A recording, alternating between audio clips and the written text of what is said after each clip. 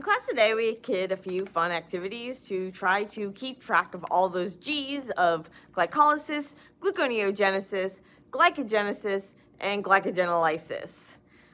Easiest way to kind of picture it all is to, well, chart it out and actually follow these different pathways. So I took these um, like metabolic roadmap posters I made and I put them in a picture frame so that we could actually use whiteboard markers on them and be able to erase things.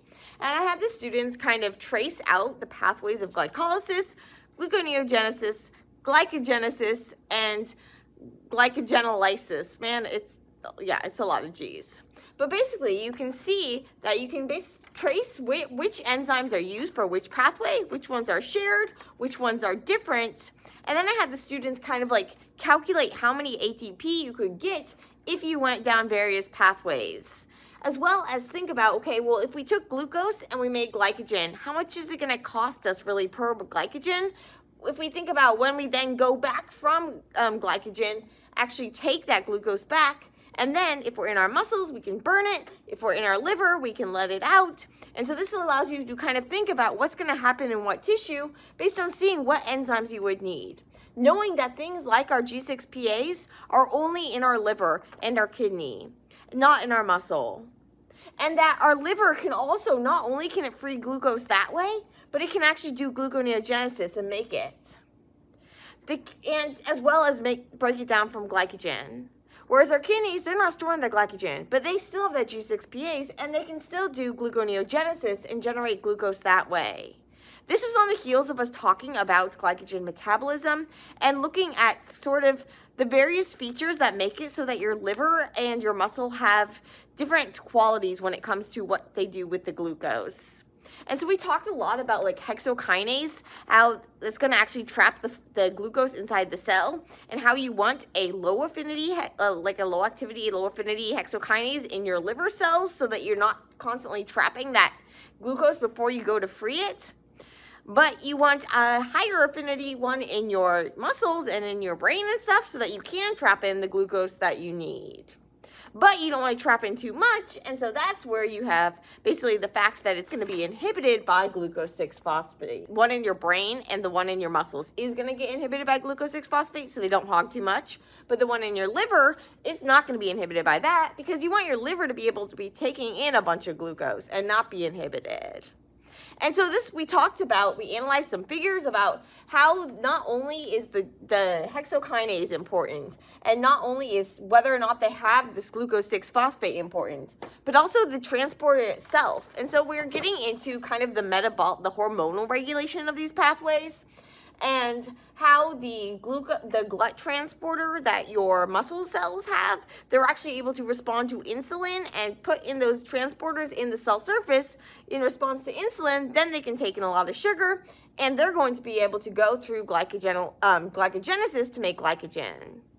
And then if they need energy, they're going to break that glycogen down, glycogenolysis, and go take it down all the way to pyruvate or even further if they want the big energy yield. Whereas your liver, it's not going to get the extra signal to taking glucose, but it's already getting like a ton of the glucose because it's like first stop. And it's not going to it's not going to be inhibited if it takes in too much. But when your liver breaks it down, well, it's breaking it down to ship to other tissues. And so you can look and see how the glucose that was in your liver is actually going to get shipped out to other tissues, and then which tissues are going to take them up. Well, the ones that are going to take them up are the ones with those really high affinity um, transporters and those high affinity hexokinases. Because you want your brain to get the glucose when there's not that much around, and your liver is going to be fine with that fatty acids and stuff. So if you trace out the pathways, then you can think about, okay, well, if I go this way, how many ATP equivalents do I need to use and how many do I get? And you'll see that basically it costs one ATP equivalent per, um, per glucose that you store.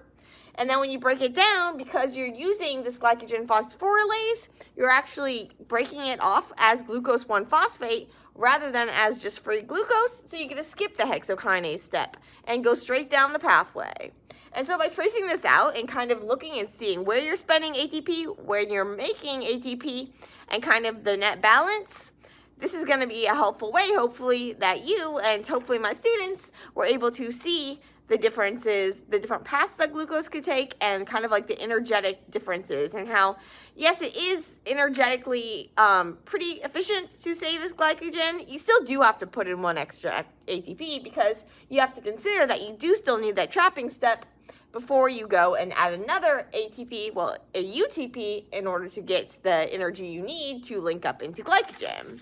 So that leads to our second activity, where basically I printed out some of the structures of ATP and UTP, as well as inorganic phosphate and glucose, and a little model of glycogenin, which is the protein at the heart of glycogen, because that's where the glycogenin is actually going to start the glycogen chain, and then glycogen synthase can pick up the slack, pick up on once you've got a chain. So what I did was basically I had the students cover, color the phosphates in different colors, whether they're coming from the ATP, the UTP, or the inorganic phosphate. And then I had them think about, okay, the glucose comes into the cell. Well, how's it going to get trapped? It's going to get trapped by being phosphorylated by our hexokinase. And so then they had to take their glucose and they had to take their ATP and they had to like cut them out and then cut off the part that gets added. So cut off the phosphate that gets added and add it on. And then, oh, well, if we wanted to do glycolysis, what would we do? If we wanted to go and we wanted to do glycogenesis, what would we do? Oh, well, if we wanted to do that, well, then we're actually going to have to move the phosphate. So take the tape off, move the phosphate to another position.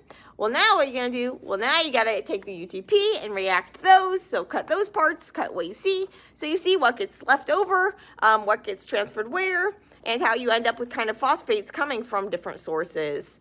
Um, and then ultimately, then you're going to release those and get another phosphate from the inorganic phosphate. So by coloring them in different colors, you can kind of keep track of that all. I had each student start by making UDP glucose from the glucose that got into the cell.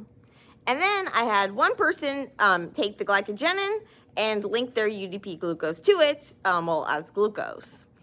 And then I had other students add their UDP glucoses onto that. And so then we talked about how glycogenin was going to put the first few on, and then things would switch over to glycogen synthase. So I had them keep linking up their glycogens, and then we decided we wanted a branch, and so branching enzyme came in and moved things over, and so we talked about kind of like a alpha 1-4 linkages versus alpha 1-6 linkages. Then we added some more onto that chain and we kind of switched to a whiteboard for a while so that we could draw out even more branching chains. And then I decided, okay, time to break things down. And so then we took in our glycogen phosphorylase and started breaking things off with our inorganic phosphate. But then, oh wait, we hit another branch. So the debranching enzyme came, smoothed things back to the initial chain um, but leaving that one glucose that then gets released, and that's your free glucose. Not, I mean, like it's free as in it's not doesn't have the phosphate group. So for that one, you do have to still go through that hexokinase step if you then want to trap it and keep it, or if you're in your liver, you just like boom, go straight out. No need for G6Pase. So yeah, I think it was pretty fun. They said it was fun. I've had fun. So the students seem to enjoy it and get a lot out of it. So I encourage you to try to do the same. Um, so just, you can even take just like a sheet of plastic, something, so that you can write on charts and erase charts. And then later in the semester, when we go into different pathways, we'll start tracing those. Um, but start with what you knows. So yeah, just an idea.